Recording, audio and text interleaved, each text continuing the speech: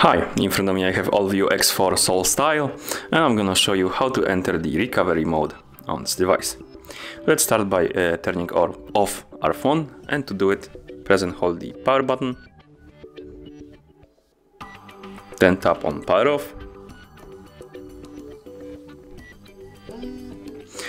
After uh, the phone turns off, press and hold the uh, power button and volume up button together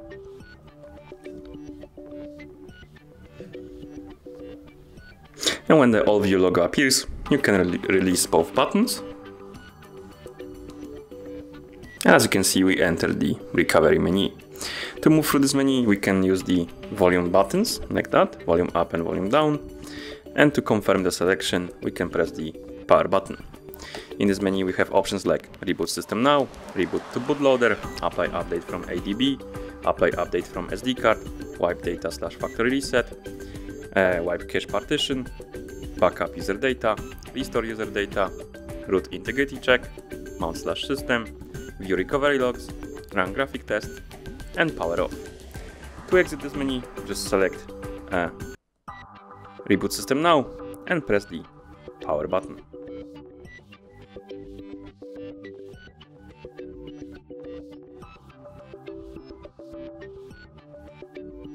And that's how you enter the recovery mode on this device. Thank you for watching. If you found this video helpful, consider subscribing to our channel and leaving the like on the video.